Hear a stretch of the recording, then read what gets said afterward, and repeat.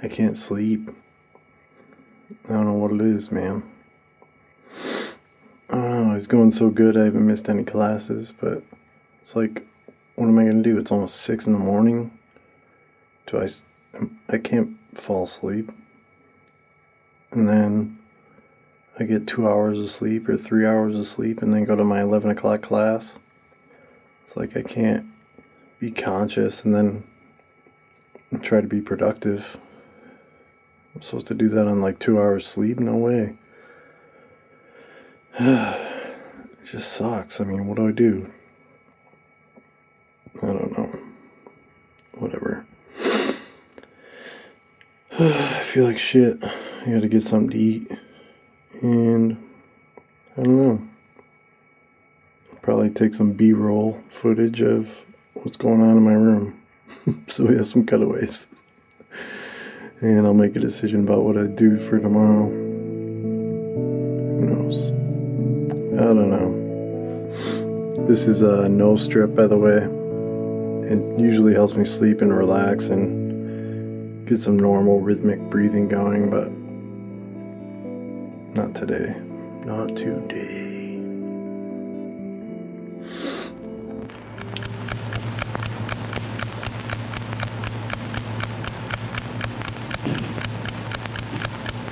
David has probably never stopped to think what a wonderful thing sleep is. In sleep, the muscles of the body are relaxed. It's the most perfect way to relax that we have. Our breathing is slower and deeper when we sleep. The body's temperature is lower. Even the heart beats more slowly. The whole body is resting.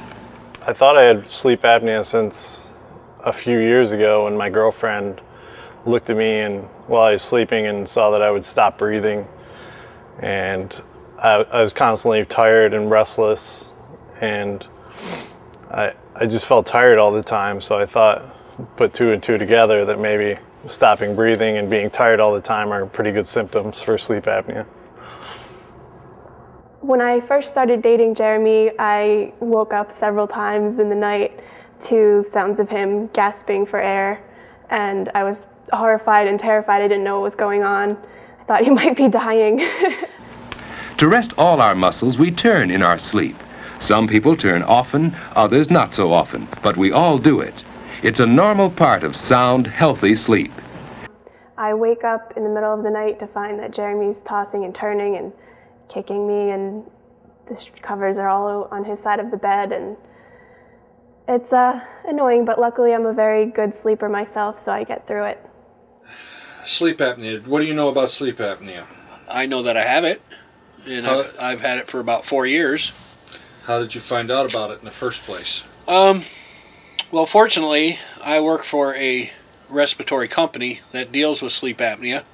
So, um, being around the business and knowing the symptoms, I had a, uh, I was told that I wake up gasping for breath at night.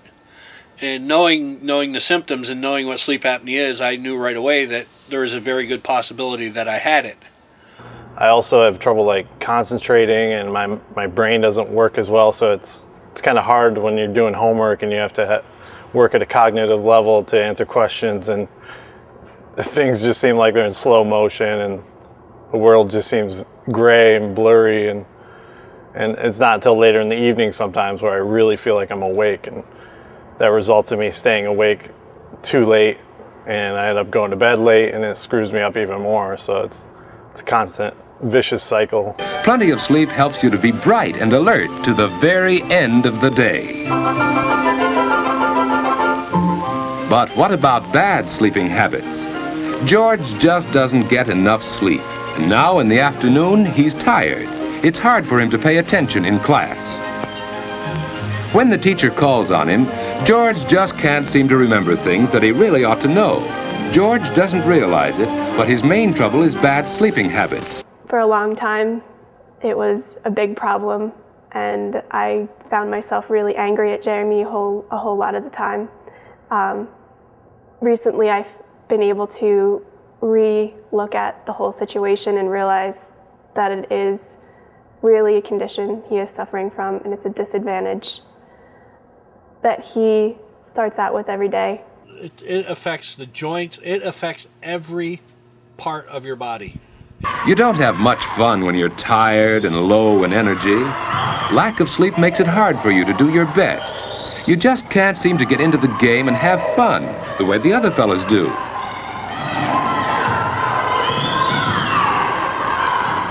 You're irritable and cross, hard to get along with. People don't like you, and you don't like yourself when you're like that. I get very tense and like today I woke up abruptly and I, my heart was racing and I was just a- angry and extra emotional because of it and it's just you feel like garbage. It feels like you have battery acid in your veins and it's just disturbing to walk around like that and you you just want to go home and be alone so that you don't interact with people in a negative way and yell at flip off the handle of somebody just because you're exhausted. It's not who I really am.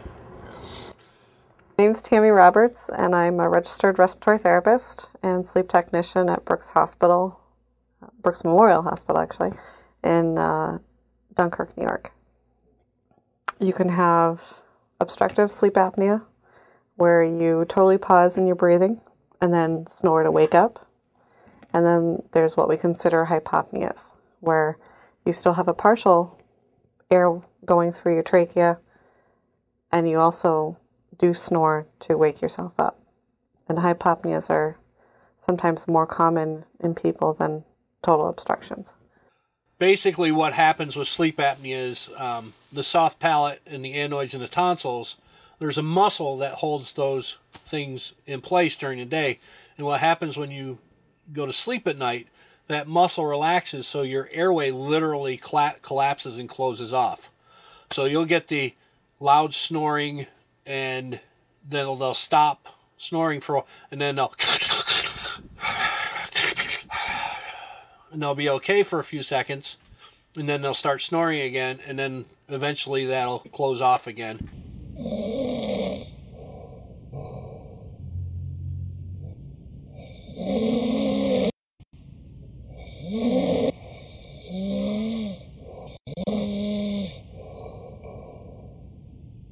Well, uh, in order to schedule a sleep study for me, I called my doctor, let them know I've, I've had persistent problems with my sleep for ever since I can remember, and, and noticing the sleep apnea a few years ago, I really wanted to do something about it. But having insurance, not having insurance rather, has been a problem. So now that I have insurance, I called the doctor. They, I told them what my symptoms are, and they said you might benefit from a sleep study. I think if Jeremy gets treated, uh, a whole new world of opportunities will open for him. He'll find that life, though it's challenging in itself, isn't as challenging as it has been up to this point um, for him. And if he can accomplish what he's accomplished to this